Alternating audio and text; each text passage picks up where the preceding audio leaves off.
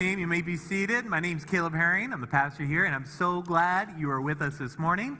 Um, or if you're online, we're glad you're tuning in uh, either today or maybe later this week. Uh, just want to give you guys a little bit of what's happening in October if you forgot since last week. We have a couple events. Put them in your calendar, Google Docs, whatever you need. October 14th, we're going to have a little board game night where we'll have an opportunity to connect with one another, just enjoy fellowship, but also a little bit of competition. If anybody likes to compete and you know play games and win, which I'm going to teach you something. I just learned this this week. This is win in sign language. This is win. Can you do this with me? I learned this this week. You're about to learn something in church today. Someone's going to ask you, "Hey, what'd you learn at church?" I learned how to sign win. Do you want to know what lose is? no, uh, not an L for loser, but um, you put your hand out and you got like two fingers and you go like you're dead, like you died. Yeah, you lost. You're dead. That's what losing is.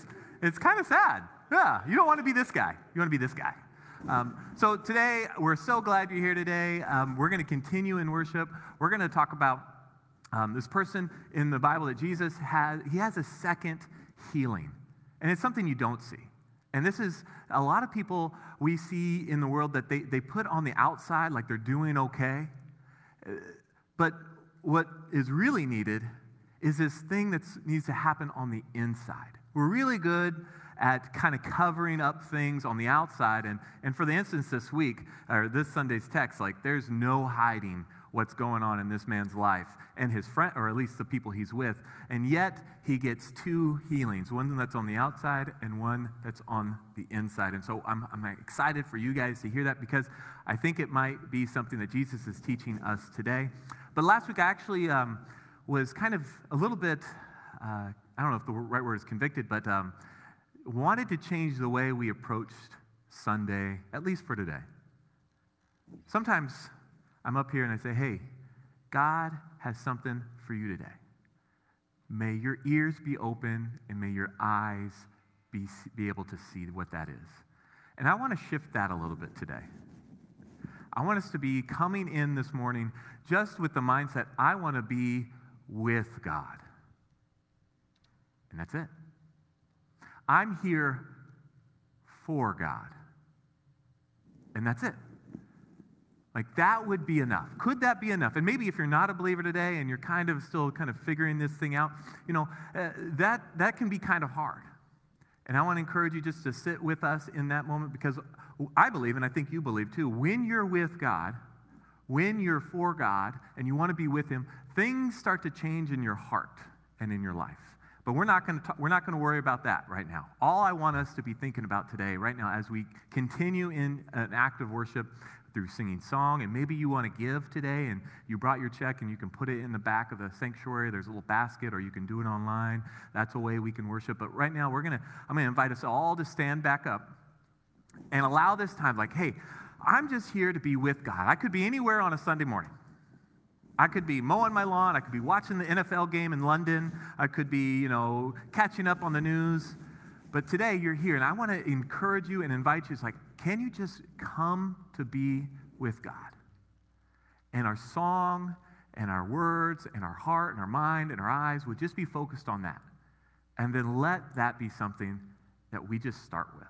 Can we do that today? Let me open us up in a word of prayer. God, thank you for being here among us.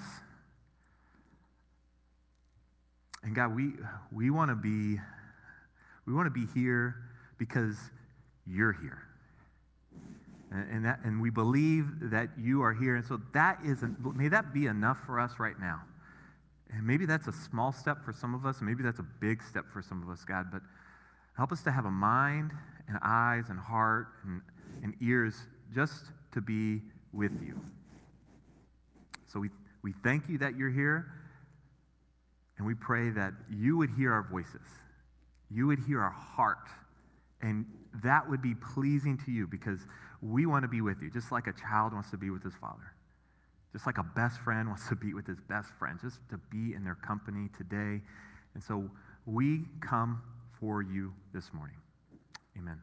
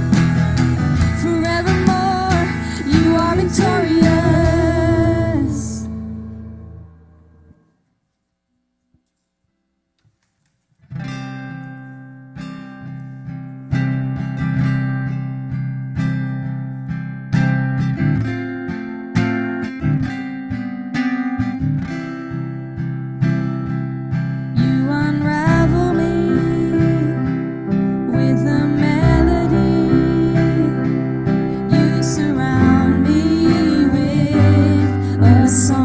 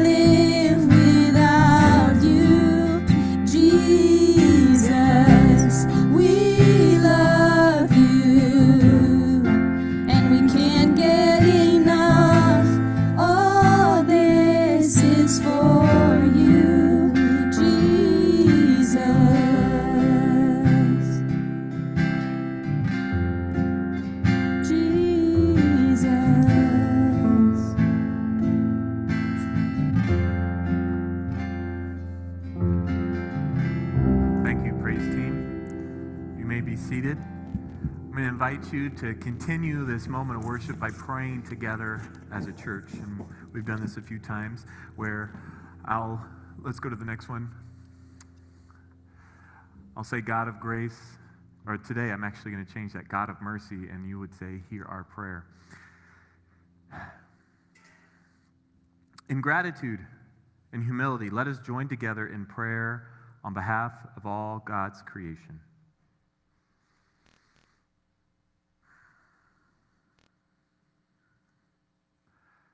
Gracious God, we give you thanks for superintendents, pastors, and deacons. Inspire leaders of the church to proclaim your mighty deeds, that your saving faith may be known to all. Hear us, O God. Wait, yeah, I'm sorry. God of mercy. Majestic God, we give you thanks for land and water, seed time and harvest. Break down boundaries we construct between ourselves and the rest of your creation. Bring renewal and restoration to places affected by pollution and deforestation. God of mercy.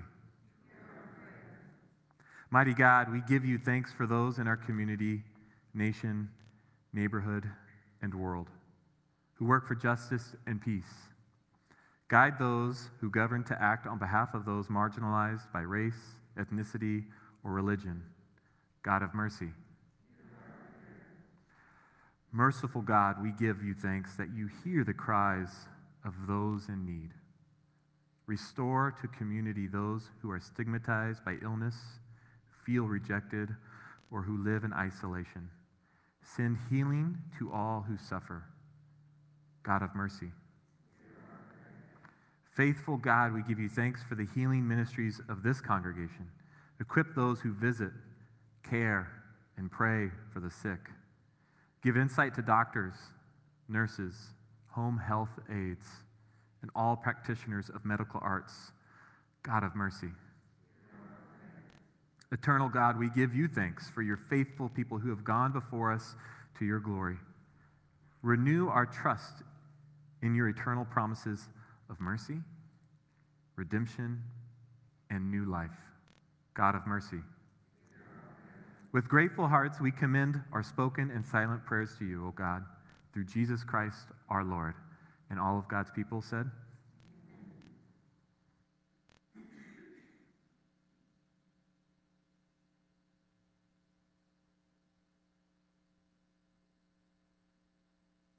Ann Bartlett, and I'm going to be reading from Luke chapter 17, verses 11 to 19 in the NIV. Now, on his way to Jerusalem, Jesus traveled along the border between Samaria and Galilee. He was going into a village. Ten men who had leprosy met him. They stood at a distance and called out in a loud voice, Jesus, Master, have pity on us. When he saw them, he said, Go show yourselves to the priest. As they went, they were cleansed. One of them, when he saw he was healed, came back, praising God in a loud voice. He threw himself at Jesus' feet and thanked him, and he was a Samaritan. Jesus asked, Were not all ten cleansed? Where are the other nine? Has no one returned to give praise to God except this foreigner? Then he said to him, Rise and go. Your faith has made you well. Thank you, Anne. Uh, in our house, we have these boxes that I walk by almost every day. They're in our office. I don't know if you have any boxes with stuff in it that's like just hasn't been taken care of yet.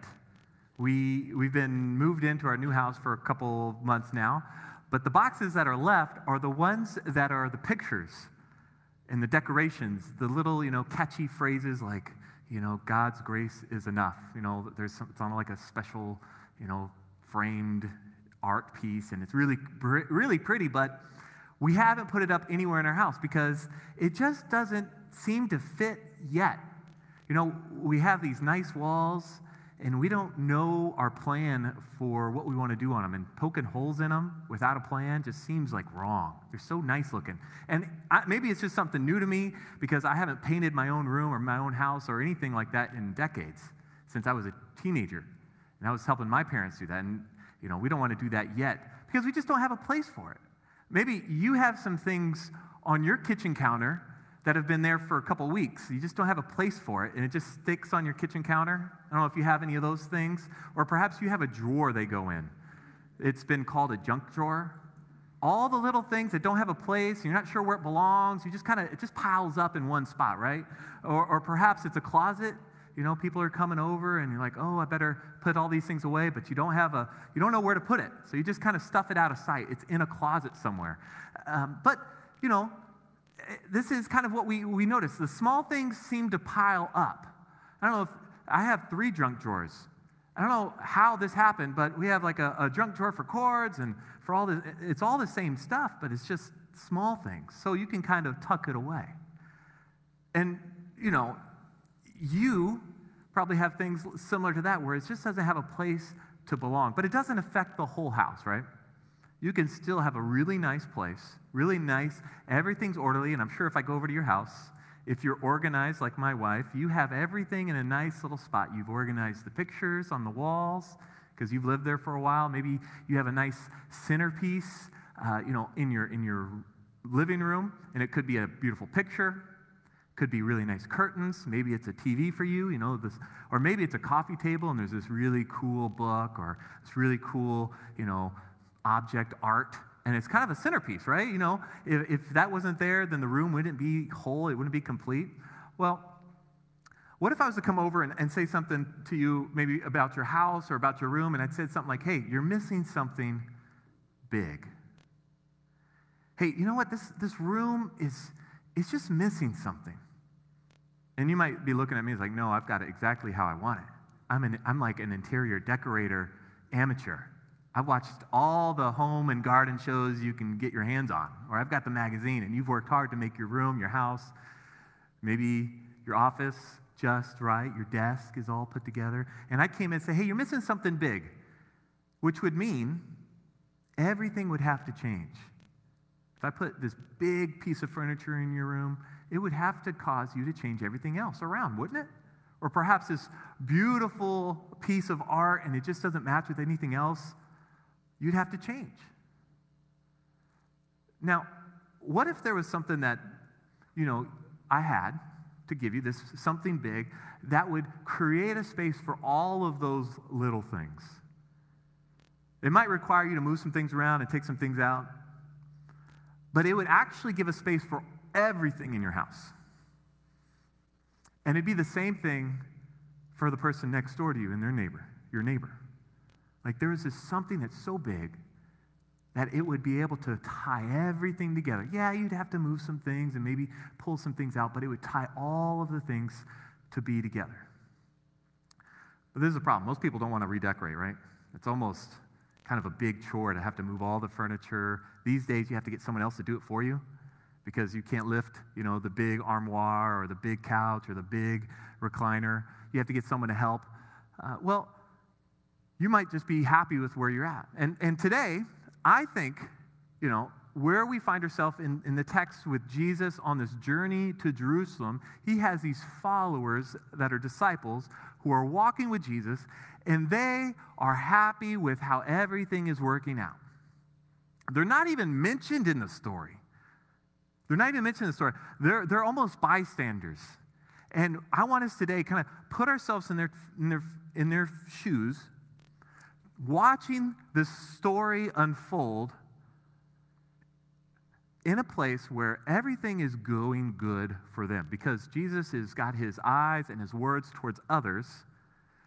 And they're next to Jesus, hearing all this unfold. But at the end of the day, they're going to see something that's incredibly important for what's going to happen later on in the story. So I want to uh, draw your attention to Luke chapter 17, verse 11. This is where we find ourselves. The NRSV, uh, and I'm sorry, I did not change the LNLT to the NIV. So if you saw some words that were a little different from what you're hearing and reading, that's because that was my fault. Um, but on Luke 17, verse 11, it says this Jesus, on the way to Jerusalem, was going through a region between Samaria and Galilee.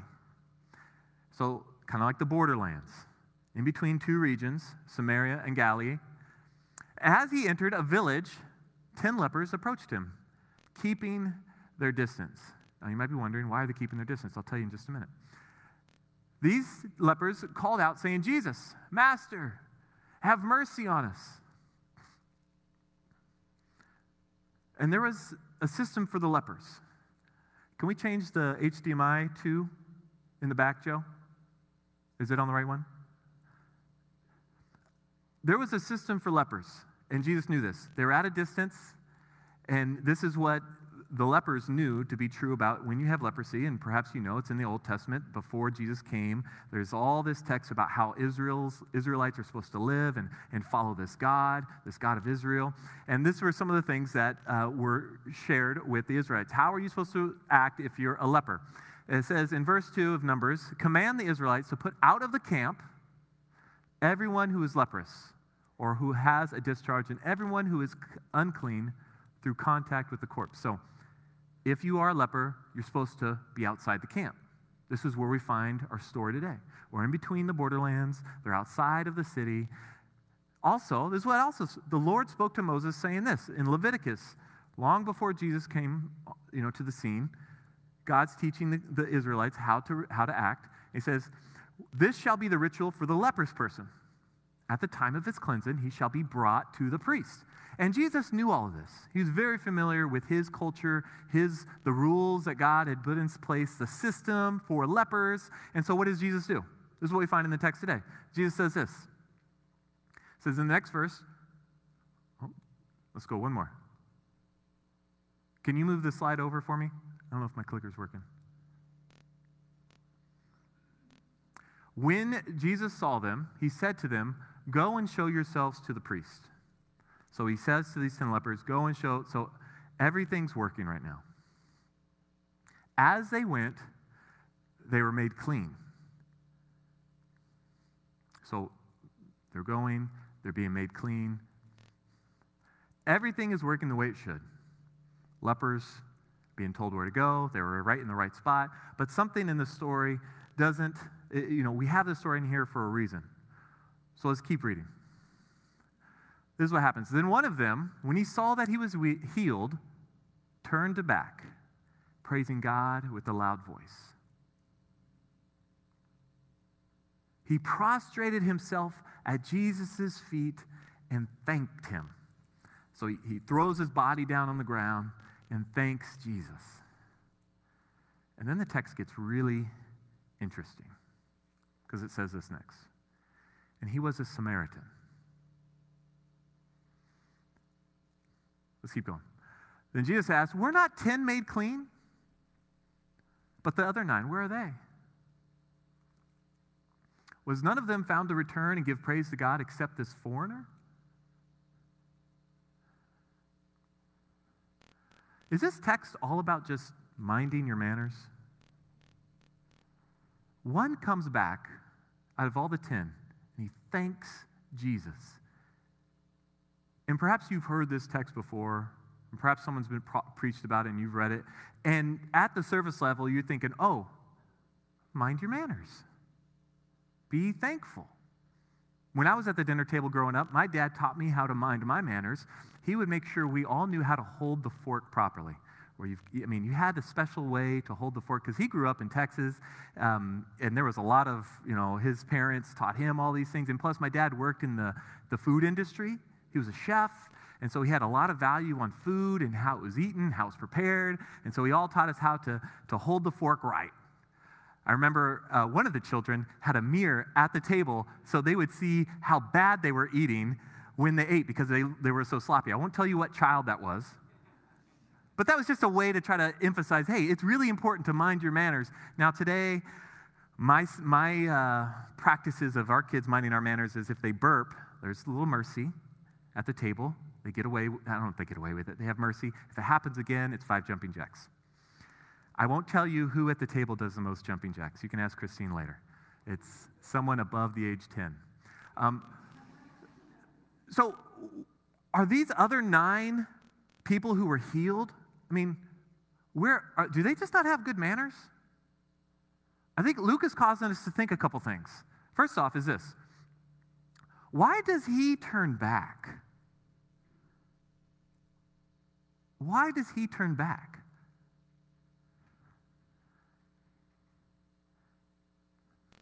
And this why the emphasis on his nationality? I mean, verse 16, it says, and it was like a whole, it's all to itself. And he was a. Jesus, verse 18 said, this foreigner. I mean, there's an emphasis here.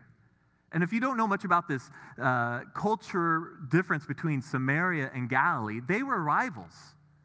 I mean, Jesus at one point uh, was speaking to a Samaritan woman and says, Hey, you worship here, and it's not right.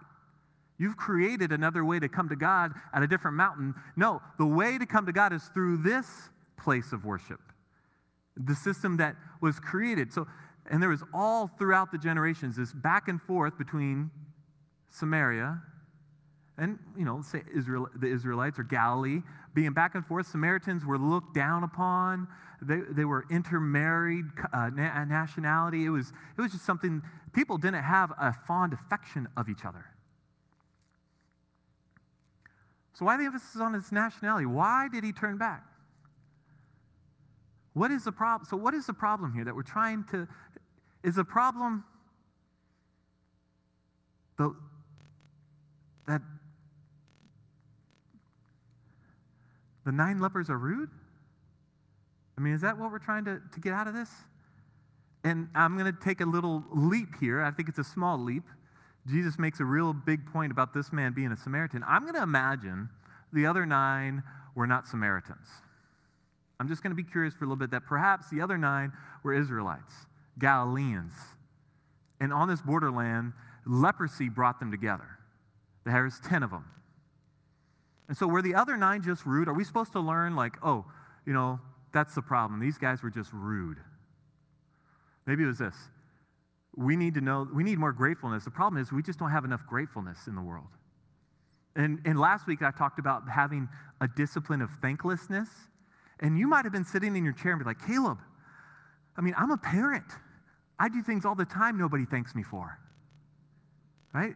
Your two year old never thanked you when you changed their diaper, did they? I mean, is that true or not? They never thank you. Maybe when they're 22, they look back and be like, oh my gosh, you did so much for me. Thank you. But a lot of you are doing thankless jobs. And is this story just saying, it's like, hey, yeah, there's not enough thanks in the world. We need more gratefulness. Or maybe sometimes you just like this. I have no idea, Caleb. Tell me. I have no idea. There's sometimes I come to a text like, I have no idea what's going on here. It seems so simple on the top, but perhaps there's more to it. This is what I think, and I want to encourage, I want to invite you into thinking through this with me. This is what I think is going on. The problem is the system is broken. The system is broken. You have all those little pieces in that little drawer, or at least I do. What if those pieces have a place? And the whole rest of the house, the big pieces in your house, are wrong. What if there's another way to organize or another way to put things together where everything has a place? Because this is what we find a cured Samaritan is still a Samaritan. A cured Samaritan is still a Samaritan. This is what I mean by that. This man, with the other nine, and pretend with me just for a second, who were all Israelites, were walking. He realizes, I'm cured. And then he looks up and he sees, I'm still a Samaritan, and they're still Israelites, and we don't get along. Let alone, I'm being asked to go to this place of worship, these priests that he doesn't necessarily belong to either. Are you following? He's being asked to go somewhere. And so he's thinking to himself, imagine, I imagine he's thinking, I'm still a Samaritan. I'm cured, but I still don't belong with these people, or I don't feel like I belong. And I'm going to a place that I'm uncomfortable, or at least this is not my place of worship. It's a different. Maybe, maybe you've heard of you know this before. It's like, hey, you can take uh, you know, I'll put it this way. You can take the pastor out of Texas, but you can't take the Texas out of the pastor. See, I'm from Texas. I, I made a Texas uh, flag pie yesterday for my friend who's from Texas because we know, like, we have a lot of pride in our state, for good or for worse. I'm a Dallas Cowboys fan. And you can't take that out of me. And that's what the Samaritan was feeling. Maybe you've heard this before. You could take the person, the boy, the girl, the woman, the man out of the trailer, but you can't, the trailer park, but you can't take the trailer park out of the man, the woman, the girl, the boy. Do you, do you sense what I'm saying? He didn't belong and he knew it. But God created this system, right? God created this temple, this place to worship, this place to come before. I mean, you heard it in, in, the, in the Old Testament. It's like He created this place. Why couldn't He go to it? Well, if you if you read the first couple chapters of the Bible, there's, there's this place where God created the garden, and it was beautiful and it's perfect. Then what happened? Humans showed up. We ruined the system, or we broke the system, or we, we brought, you know, a sin into the world. And so anything and everything that we see God put in place, at some point, and you can see this, read this throughout the stories of the Israelites, it's like at some point, we mess it up. Where we have to create two places of worship in order to come to God. There's an Israelite Jewish way to come to God, and then there's a Samaritan way to come to God because it wasn't working because humans were involved. At some point in this, generations of, of, of the Samaria and the Galileans, like they said, we can't get along. We're going to create our own way to worship God. So, if the system's broken, if, if the way that God created is broken, what's the plan? What is God's plan? Does it change? Is it still the same? How does it move forward? How are we going to get to this place of, okay, here we go. We're going to get it right this time? Well, he shows us through the Samaritan. This is what's, what's so great. At the very end of the text, it says this He said to him, the Samaritan, Get up and go on your way. Your faith has made you well. And perhaps your translation and the one you heard, it says, like, Your faith has healed you, your faith has saved you, your faith has made you well, has made you complete. And think about the implications of this having a man who's healed on the outside and healed on the inside, being sent out. What do you think that does for his family? Or maybe anywhere he goes. If a person who is complete on the outside and on the inside goes into a place, what kind of good would be following him? Wouldn't like I think of uh, Psalms 23. Perhaps you know the first verse. The Lord is my shepherd, I shall not be. What was that? I shall not want. There we go. I shall not want, I shall not be in want. The last verse, I imagine the last verse in Psalms 23 is what this guy was more connected with. You know the last verse? Surely goodness and love will follow me all the days of my life. Everywhere this guy goes, now that he's complete on the outside and on the inside, love and goodness is following him everywhere. There's like this path. Wouldn't that be nice to be run encounter this person who's healed on the outside and the inside? And perhaps today you would like that. You're like, man, I, you know, I, I'm kind of, you know, in pain on the outside, but that's okay. I deal with it. But I have some things on the inside that need some healing. Man, how great would that be if today you left a little more healed on the inside. It's great to be healed on the outside. I'd say, man, if we could, if we could help and support as a church and, and connect you with the right people, and you know, maybe it's a, a visit to the doctor to help some things on the outside to, to healing. Like, and we believe, you know, there could be supernatural healing, healings too. But imagine a whole person walking in and out of houses, neighborhoods, community, how that would affect that neighborhood. Imagine 100 people maybe, every week, going out into their community, their neighborhood, their family, their workplace, being whole on the outside and whole on the inside. I mean, wouldn't that be a blessing to your workplace to have someone that was not insecure all the time? Who wasn't so worried about everything and filled with fear? It's okay to be, you know, have like healthy fear, but for it to debilitate you kind of fear? Wouldn't it be nice if we had healthy and strong relationships and marriages because you're complete and you're whole? And this is what Jesus shows us through the Samaritan. You are the plan. You are the plan. And, and let me make sure I caveat it centered on Jesus because I don't want you to get too big headed. You cannot, you've got to be able to fit through the doors on your way out. That's what my mom always said. She'd make sure to give me a taste of humble pie. It's like, hey, your head's getting too big, you can't fit through the door. And she'd give me a little taste of humble pie. I ate a lot as a, teenager. You are the plan, but centered on Jesus. You are the plan. Healed on the outside and on the inside into the world.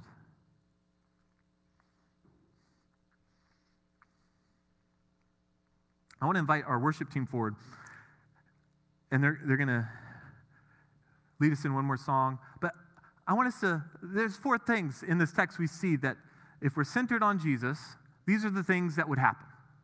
We'd seek mercy, right? These people were seeking mercy for the ailments that they had. Maybe today there's something today that you have physically that's going on in your life. And, they, and, and today is a chance to just seek mercy asking God, I'm dealing with this. I need your mercy. I can't deal with it myself. You see, also, getting on your knees. The man that comes back, he falls flat, prostrate, worshiping. And this is when I, I think perhaps we don't do enough of just worshiping God, getting on your knees. And so often in the Bible, anyone that comes to worship God or Jesus, their body responds. For him, it was falling on his face, being prostrate. For others, it's getting on your knees. For others, it's putting hands out. I mean, all throughout, it's our body follows our heart. And perhaps, you know, as we move into this time of, of worship, song, music, I encourage you, there's an altar. There's places to come and have your body actively worshiping. Perhaps it's just sitting there. The other one is this respecting the system. There might be things you don't agree with that you're dealing with at work or at home. As a young person, I, you know, it might just sound like, hey, life's not fair. It's not fair how they treat you. It's not fair. Like, that's kind of the system. And, and Jesus here isn't saying, you know, it's perfect. He's saying, respect it. This is the way it's set up right now. Respect it. Because eventually Jesus comes and he changes the system when he sits down with his disciples at the table and he breaks bread with them. Being peace in the world, going. And I brought, I, I brought something I want to help because um, this is just me being really, I get really excited about when the Bible comes uh, just alive in a way that's mathematical. I don't know if anybody has a math brain or thinks linearly like me, but there's this moment in that I see that happens in the text, and if you can't see, you can move. And sorry to, to block you, Charlene, I'll move it later. There's this, this is what we see in the text. We see Jesus. And then we see all his disciples. This is what I was, they're bystanders right now. They're following Jesus. And who's on the outside? Someone say it. Who? The lepers. How many were there? They'd cry out to Jesus, right? They're all crying out to Jesus, Have mercy on us. And Jesus says, Go to the priest. What happens next? One of them realizes what? There, or one of them realizes he's been healed. What does he do? Okay? Then what happens? Yeah, he falls down, he worships him, and then where does Jesus send him? Back out. This is what I notice when I when I just put it out on a graph. And I'm sorry if you can't see, you can walk up a little bit later. This is what I this is just me kind of wondering. There's all these things that are just centered around Jesus. They come to Jesus, he sends them out. They come back to Jesus, he sends them out. And the bystanders are noticing all this. And eventually, they're going to have the same conversation with Jesus Go and make disciples. They've been with him. This is like a miniature, you know, uh, foreshadowing of what's happening. It even happens when uh, he sends them out, the 72. They come back and they report, and it was awesome. But this is what I want to ask us. What, what are we centering? I lost my clicker. What we, what's our centerpiece? Can you go to the next slide?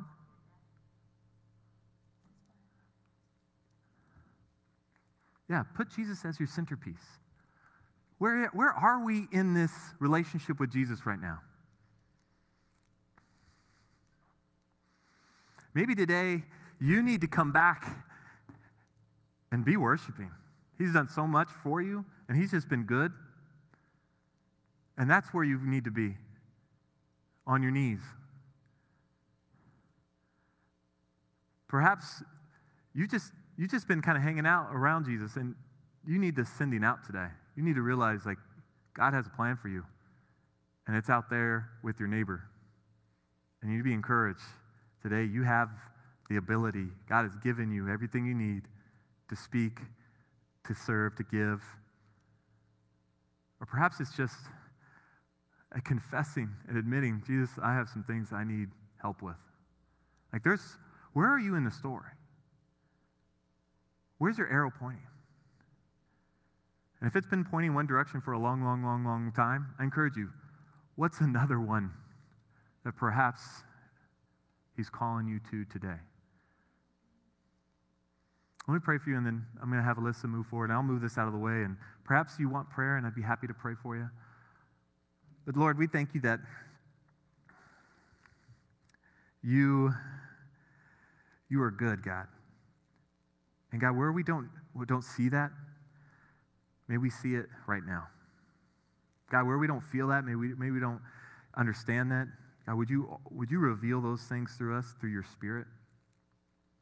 And God, where, wherever we might need to make a step today, help us to know what that step is. Or just give us the courage to take a different step because we've been in the same spot. We, we've been maybe seeking mercy and mercy and mercy but perhaps you're calling us to just worship. God, give us the courage to do it. And Lord, maybe there's, maybe there's a place you're calling us that's outside these walls that you want us to go.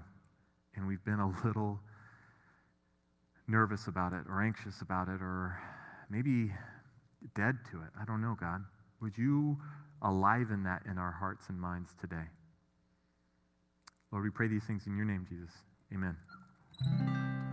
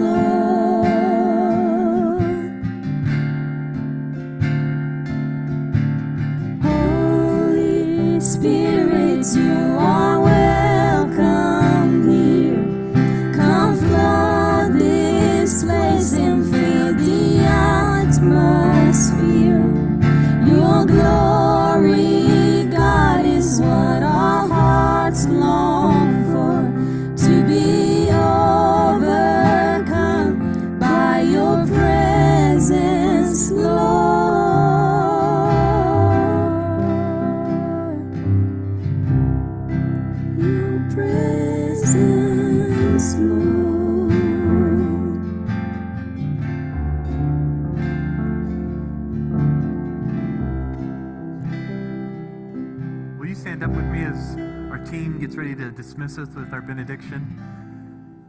If Jesus is the centerpiece of your life, and I hope he is, and if he's not, you know, I think he's a great, he has a place for you in your life, in your room, somewhere.